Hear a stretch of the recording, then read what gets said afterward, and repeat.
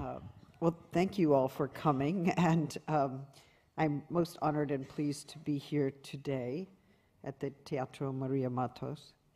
Um, and I thank you for celebrating the anniversary of uh, Gender Trouble, the 25th anniversary, with all of these very interesting performances and conferences. Um, I'm particularly grateful to my generous hosts who made it possible for me to come here quite easily. Now, I am, of course, um, the author of that book, uh, but I have changed in the last 25 years, and the book has taken on a life of its own. I certainly do not disavow the book. I continue to take pleasure in it and to defend it when it gets in trouble, as it sometimes does. It was written at the same time as many other important books and helped to instigate queer theory at the time. That wasn't my intention. I was surprised by the outcome, so from the start, this book that I made was doing something on its own, producing effects without me, and yet I am so somehow still its author. Uh, I love this, right? People have told me that the book changed their lives, or that they found it exhilarating, or that it was just too difficult to read and they could not finish.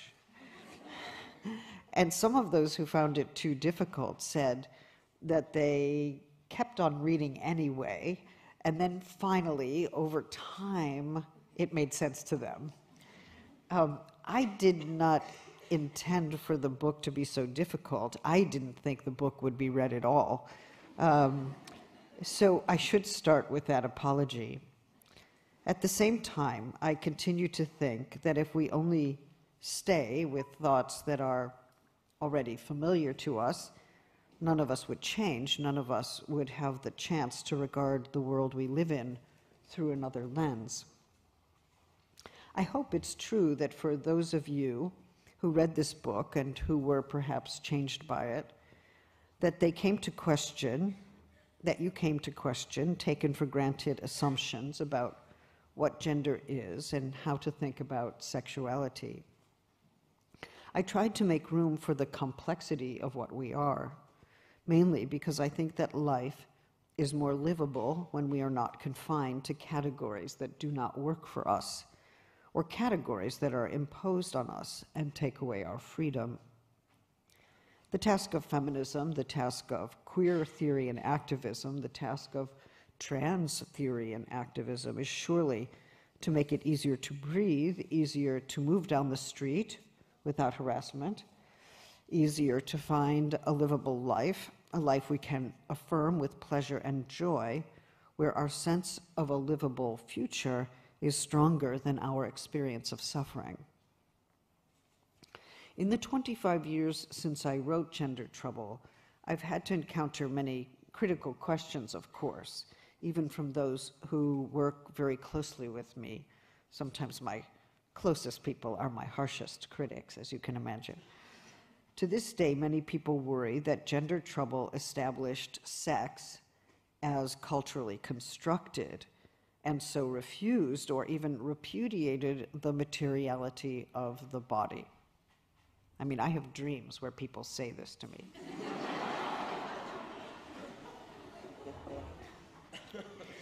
how, how do we answer this criticism? First, it is necessary to consider that to say that a body is constructed is not to say that it's fully constructed or that it is nothing but a construction. We have to understand it what's, in what sense and to what extent a body is shaped and endowed with significance by virtue of the historical framework in which it is understood and the historical discourses through which it is formed. so, how do we think about the materiality of the body? Of course, we know that when we seek to understand the materiality of sex, there are various ways of doing so. Some people refer simply to what are called primary sexual characteristics. Others claim that sex characterizes both anatomical parts and something more elusive, even essential, about who a person is. Others insist that sex is a, comp a complex composite of anatomy, hormones, chromosomes, and yet others tend to think that all these scientific dimensions of sex are gathered together and defined by, by different reproductive functions. So you're female if you have that reproductive function, you're male if you have that reproductive function, and that which sex you are can be established by virtue of your relative place in heterosexual reproductive life. So, for such a position, which is obviously not my own, the reproductive functions of men make sense of all those different elements, and the same for women. Now, as you know, some people base their views on the materiality of sex, on religious doctrine, others seek recourse to science. And as you probably know, religions do not always hold the same views. Even people within the same religion do not hold the same views. Um, and of course, scientists um, are also involved in disputing their paradigms. They have conflicting paradigms. So we can't find absolute consensus among scientists on this issue either. So I would suggest that um, there are two major challenges to this way of thinking that assumes that the materiality of sex is linked to reproductive function.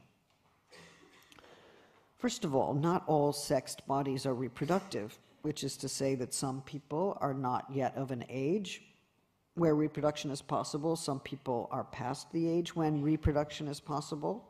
Some people were never capable of reproduction and others never wanted to reproduce and have led lives without reproducing and are very happy. Are we to say that that whole population of everyone I just named is not sexed? Given this multiplicity of embodied positions in relation to the cultural mandate of reproduction, can we say that it's necessary, even ethically obligatory, to conceive of the sexed body outside the framework of reproduction. After all, sexual reproduction is only one way of organizing and understanding the sexuality of the body. If reproduction becomes the only framework within which we think the sexed body and its materiality, defining all its possible constituent elements in light of their possible or actual reproductive function, then what have we done? We have ruled out the possibility of a sexed body and a sexual life that has no relationship to reproduction. And if we enlarge the paradigm of sexuality within which we think the sexed body, does that sexed body appear differently? In other words, which organs are now sexed? And how do we think of both sexuality and the sexed body outside the framework in which its very materiality um, is conceptually constrained by the reproductive function. And what are we talking about when we say its very materiality is conceptually constrained by the reproductive function? We're saying its matter is defined by what matters about it. We have only to look to the history of science to see that the very definitions of sex have changed throughout the centuries, and that even now historians of science have spirited arguments about how to identify sex determining genes, to what extent the genes are determinative of sex, whether they're only determinative in interaction with other kinds of physiological or hormonal elements.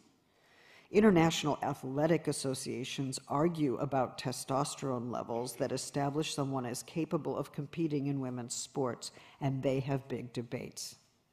Um, and we can think about the case of Caster Semenya from a few years ago.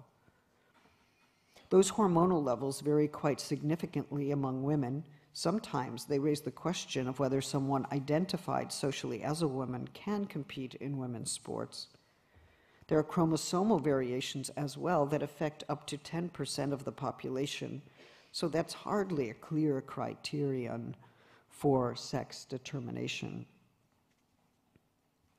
We surely do say, or at least most of us say, that there are material differences between the sexes, but at the moment in which we talk like that, we're always implicitly referring to one historical version of materialism or another. In other words, we do not deny the generality of those material differences, even though, given the variations and exceptions and the importance of intersex, it would be a mistake, even a form of cruelty, to call that difference between the sexes universal. Even at this most obvious moment, the one in which we declare the reality and materiality of two sexes, and everybody feels much better, right? Because we've just made it obvious.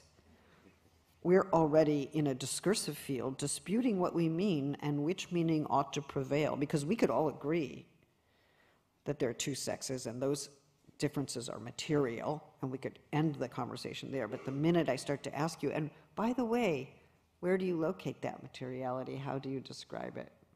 The minute we start that, we tend to be not on common ground. Maybe some common ground, maybe not.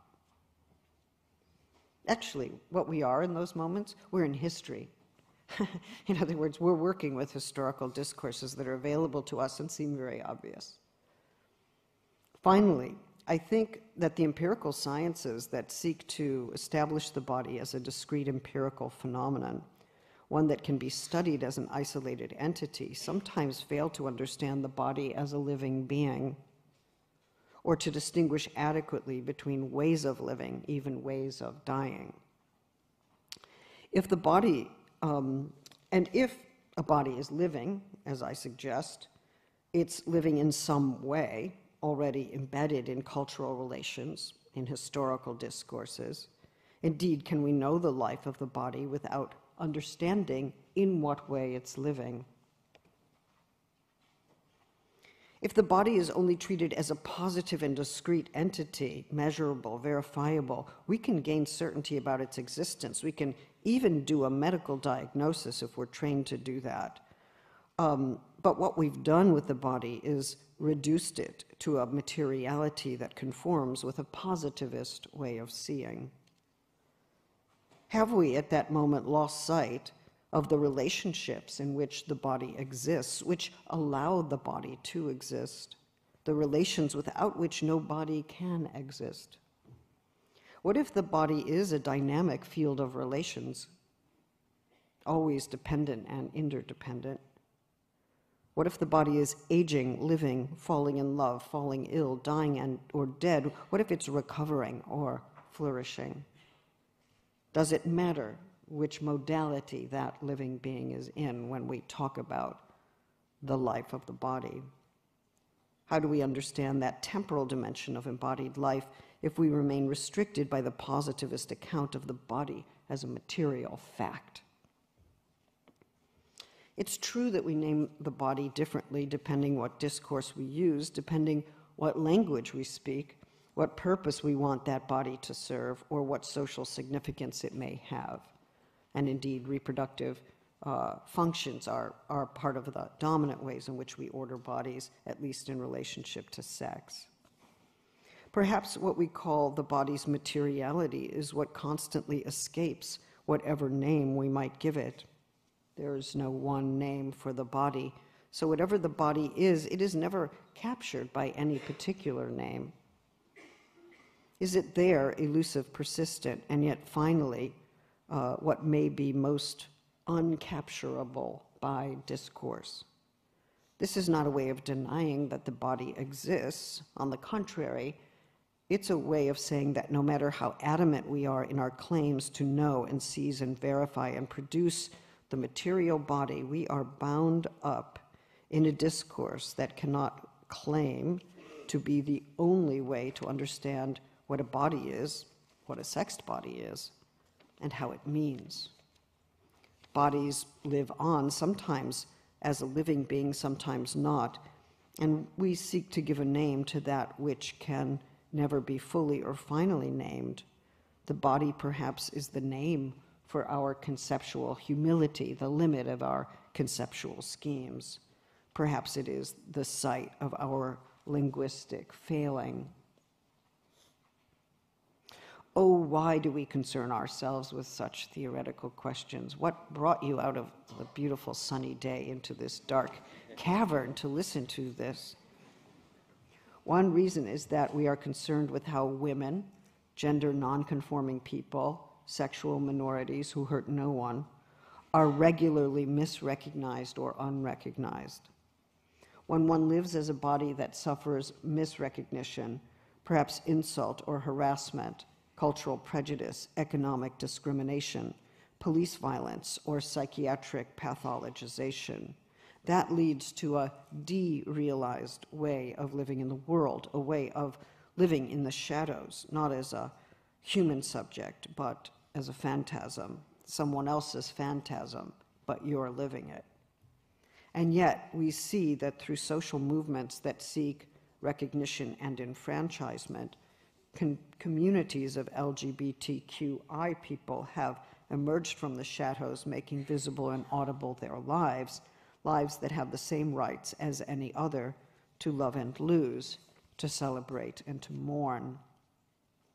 Of course, we seek recognition in this world in order to exist as social subjects participating in a common world. At the same time, we know that there is no perfect recognition in this world. That does not mean that we stop struggling for recognition, but only that we must understand that recognition is precisely an ongoing struggle. We ask for recognition not only for who we are, but for our very capacity for self determination, our claim to equality and to freedom. How do bodies that have been living in the shadow zones emerge into a brighter light? Maybe not full illumination, but still a brighter light. They do this, I would suggest, in solidarity with one another, not as heroic individuals.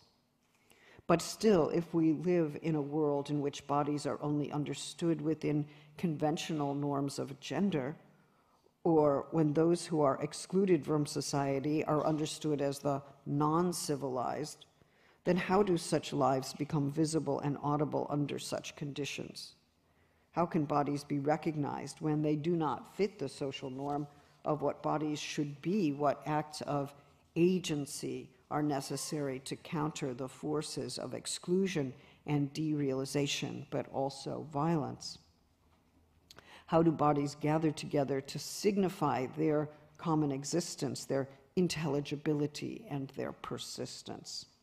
Sometimes it's in the very act of standing forth, of walking together, of gathering, that asserts a social existence, signifies a political demand, and promises a different political future.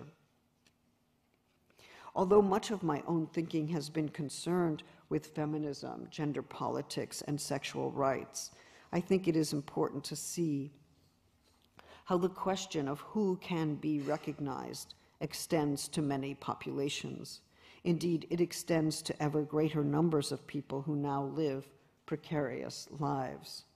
Such questions come alive when precarious populations gather to protest austerity measures, to protest unjust and racist immigration laws, to protest the increasing conditions of temporary and dispensable labor and exploitation, the profound sense of there being no future, the burden of unpayable debt, the fear of authoritarian regimes, social and police violence people assemble together not only to voice their opposition to policies that make their lives unlivable, but also sometimes simply and emphatically to stand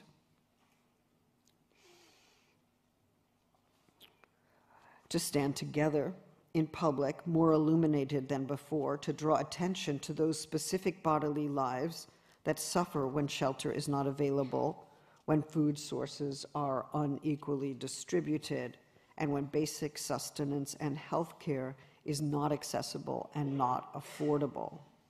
They do time and again stand together when their very presence on the street sends a certain shockwave through society, as if to say, We, the invisible ones, we exist. This happens in several countries, most countries, when people stand and move in public who are transgendered, queer, women, who are undocumented citizens, members of unprotected religious minorities, racial minorities, the precarious. Although there's always a risk of being harassed or hurt or killed when they assemble, as we, have seen in many of the major demonstrations in Europe, in Turkey, in Russia, and recently in Iguala, Mexico. I am mindful particularly of those 43 students from Ayotzinapa in Mexico who have disappeared, who are presumed dead, all because what did they do again?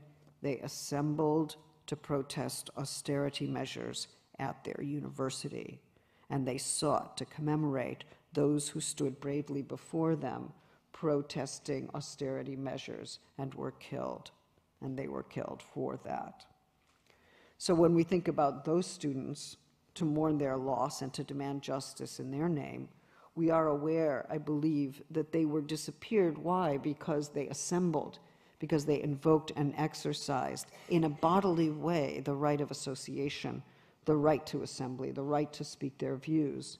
In English, we say they put their bodies on the line. They exercised the most basic rights of democracy, and yet they were treated as criminals enemies of the state. Those losses deserve to be recognized, and the circumstances of their disappearance need to be publicly known. We can probably all agree on that. But why is this? Well, because they were lives that mattered and matter still, and they deserve to live those lives, and now they deserve to be mourned.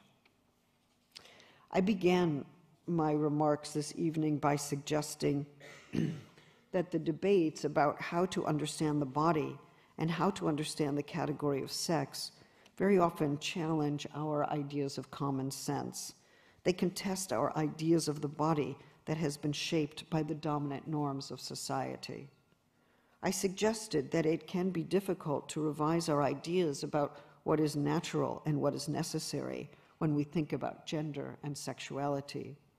I suggested as well that these theoretical debates become important when so many people who live outside the norm or in precarious situations struggle for recognition and support for their very lives.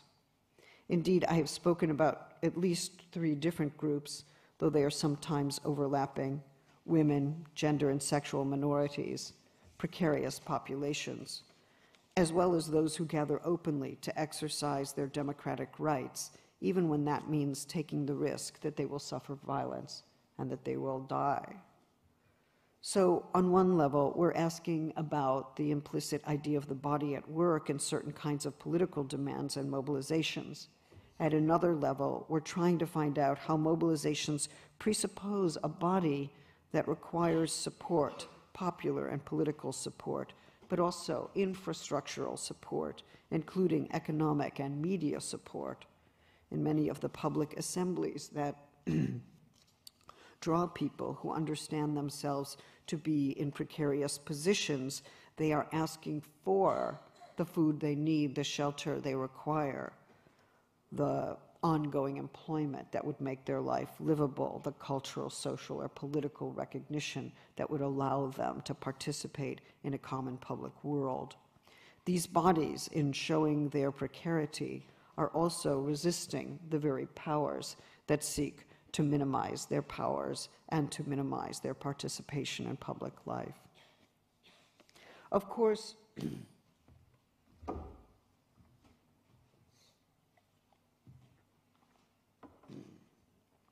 if we make the matter individual, we can say that every single body has a certain right to food, shelter, freedom to move and breathe, protected from violence. Although we universalize in such a, a statement, every body has this right, we also particularize understanding the body as, as this body, as an individual matter, and that individual body is significantly shaped by a norm of what the body is and how it ought to be conceptualized.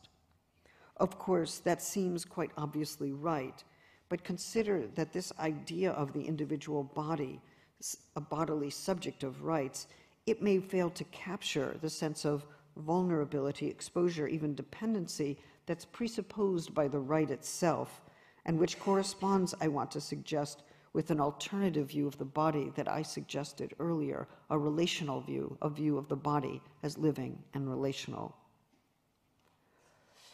In other words, if we accept that part of what a body is, and this is for me an ontological claim, part of what a body is, is its dependency on other bodies and networks of support, then we're suggesting that it's not altogether right to conceive of individual bodies as completely distinct from one another.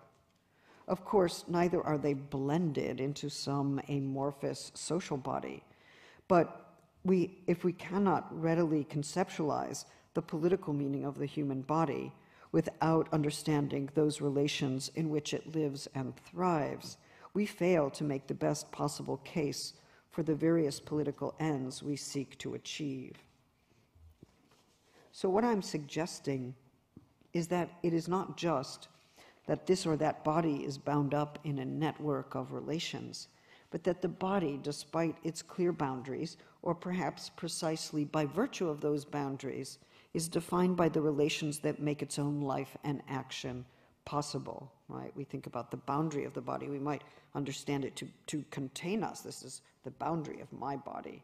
You know, don't smoke near me, or don't stand near me, or whatever it is we do when we privatize our body as a contained kind of element. But actually, the boundary of the body is also the skin that exposes us to touch, it exposes us to visibility, to audibility. It's, it, it articulates us as a, as a social creature, not just as an individual.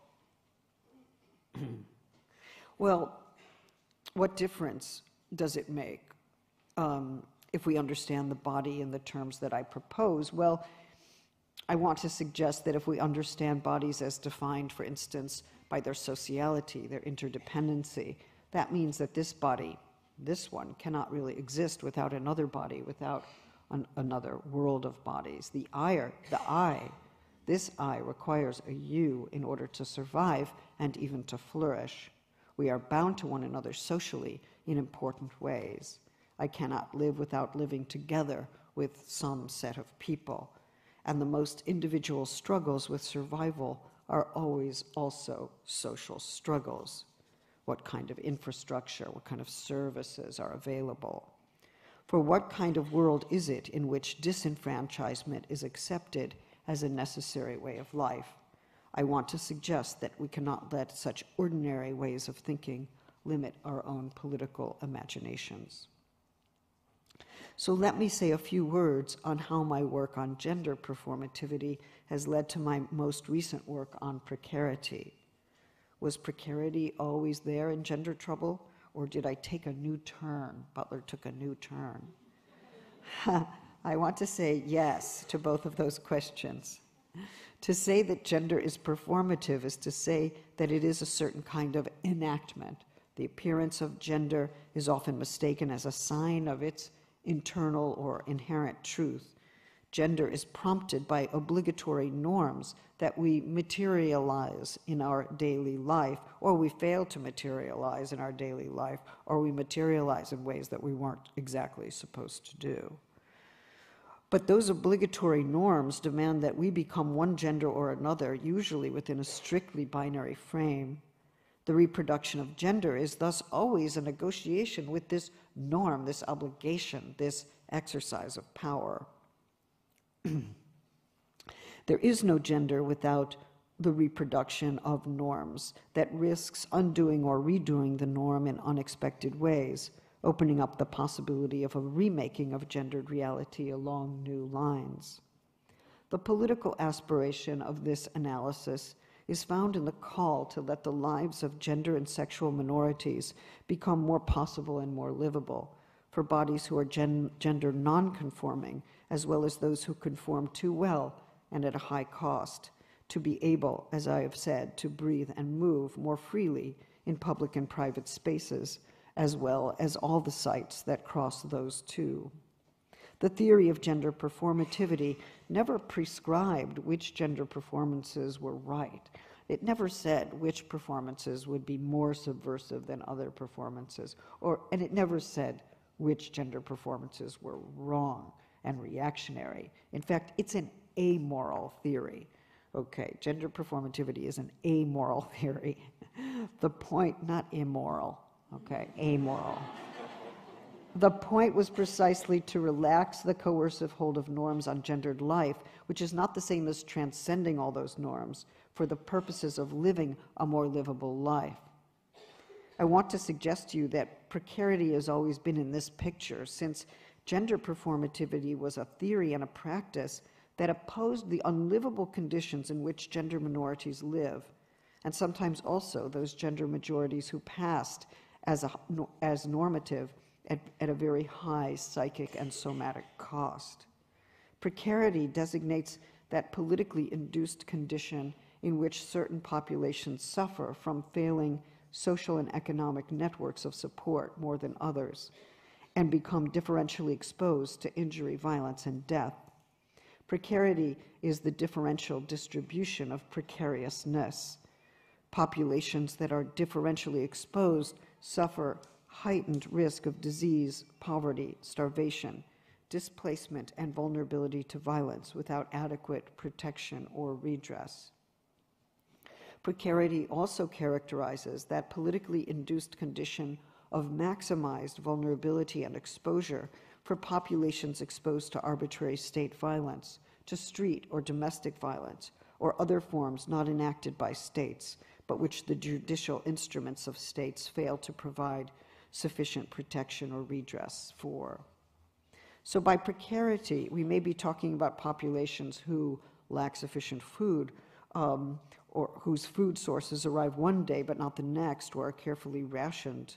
Um, or we may be talking about populations where housing is suddenly lost or utterly lost. We witness now the important anti eviction movement in Spain. Uh, let it spread. We might also be talking about transgendered sex workers who have to defend themselves against street violence and police harassment, or we might be talking about the gay, lesbian, uh, queer people in Moscow who were just recently beaten up quite brutally by the police for doing what? For assembling and trying to celebrate gay pride. Sometimes these are the same groups, sometimes they're overlapping. Um, but when they are part of the same population, they can be linked by their sudden or protracted subjection to precarity um, and their, their, um, their, their resolve to resist that condition. Um, and the question for us, and maybe the question for a radical democratic left, is how can they be linked? How can these various populations be linked over time? What brings them together? What allows them to arrive together, to assemble together? In this way, I want to suggest that precarity is directly linked with gender norms, since we know that those who do not live their genders in intelligible ways are at heightened risk for harassment, pathologization, and violence. Gender norms have everything to do with how and in what way we can appear in public space, how and in what way the public and the private are distinguished, and how that distinction is instrumentalized in the service of sexual politics who will be criminalized on the basis of their public appearance. By which I mean who will be treated as a criminal and produced as a criminal, which is not always the same as being, the na- being named criminal by a code of law that discriminates against manifestations of certain gender norms or certain sexual practices. So, criminalization can happen both in codified ways within law, but also in, uh, in non juridical ways that can have um, equally violent effects. Who will fail to be protected by the law, or more specifically, the police, on the street or on the job or in the home, in legal codes or religious institutions? Who will be stigmatized and disenfranchised at the same time that they become the object of fascination and consumer pleasure? Who will have medical benefits before the law? Whose intimate and kinship relations will be recognized before the law or criminalized by the law? Or indeed may shift quite radically depending on which legal code is in operation, religious or secular, or whether or not the tension between legal codes happens to be resolved. The question of recognition is for me an important one, for if we say that we believe all human subjects deserve equal recognition, we presume that all human subjects are equally recognizable. But what if the field of appearance does not admit everyone? What is that? How is it that that field is regulated in such a way that only certain kinds of beings can appear as recognizable subjects and others not? This is surely one question posed by the animal rights movements, since why is it that only human subjects are recognized rather than non human living beings? That question is linked with and confounded by another, namely, which humans count as the human, which humans are eligible for recognition within the sphere of appearance, which are not, and what do we call those who do not and cannot appear as subjects within hegemonic discourse? We know this question in one way from the theory of gender. There are sexual and gender norms that condition what and who will be legible and what and who will not, and that expose those who fail to register within intelligibility to differential forms of social violence. so, in order to understand those forms of living gender in its full complexity, um, we have to understand the ways in which gender is misrecognized or remains unrecognized, precisely because those who live on the margins or in nonconforming ways are testing the limits of established norms for thinking embodiment and even personhood. Are there forms of sexuality for which there is no good vocabulary, precisely because the powerful logics that determine how we think about desire, orientation, sexual acts and pleasures do not admit of certain modes of sexual pleasure, practice, or orientation. The performativity of gender is bound up with the differential ways in which subjects become eligible for recognition. Recognition depends fundamentally on whether there is a media, a form of presentation in which the body can appear. This is another reason why the aesthetic domain and the theatrical domain is so important for contesting the arbitrary limits that are imposed on the field of appearance.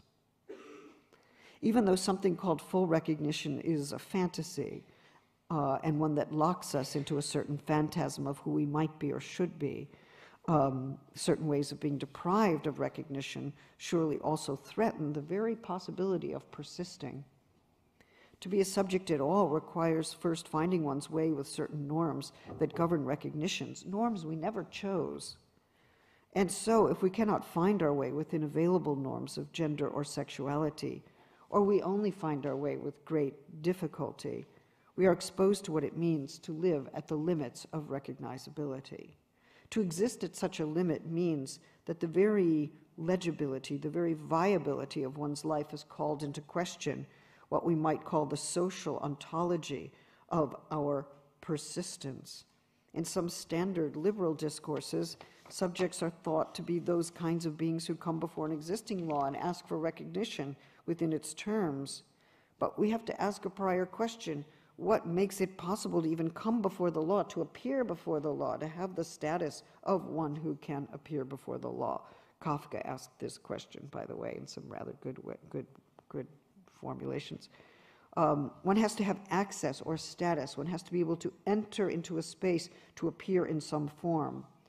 And here we can think about the situation of undocumented workers or those whose status is criminalized from the start, but who require both rights and obligations, protections, and the powers of citizenship. So, what is at stake when we seek to understand performative politics in its struggle from and against precarity? As we know, not everyone can take for granted the power to walk on the street or into a bar or even a restaurant. To walk on the street alone without police harassment is precisely not to walk with the company of others and whatever non police forms of protection that supplies. And yet, when a transgendered person walks on the street in Ankara or in McDonald's in Baltimore, there's a question of whether that right can be exercised by the individual walking in alone. If the person is extraordinarily good at self defense, perhaps it can. If it is in a cultural space where that is accepted, it surely can. But if and when it does become possible to walk unprotected and still be safe, for daily life itself to become possible without fear of violence, then it's surely because there are many who support that right, even when it is exercised by one person alone. So I may exercise it, but I can only exercise it effectively if I have the support of many. If the right is exercised and honored, it is because there are many there, even if they are not there, exercising it as well, whether or not anyone else is on the scene. Each I brings the we along as he or she enters or exits that door, finding oneself in an unprotected enclosure or exposed out there on the street. We might say that there is a group, if not an alliance, walking there too, whether or not they are anywhere to be seen. It is, of course, a singular person who walks there, who takes the risk of walking there, but it's also the social category that traverses that particular gait and walk, that singular movement in the world. And if there is an attack, it targets the individual, but the, and, it's, and it targets the social category at the same time. Perhaps we can still call performative both the exercise of gender and the embodied political claim to equality and the protection from violence, and to be able to move with and within this social category in public space. To walk is to say that this is a public space in which transgendered people walk, that this is a public space where people with various forms of clothing, no matter how they are gendered or what religion they signify, are free to move without threat of violence or threat of arrest.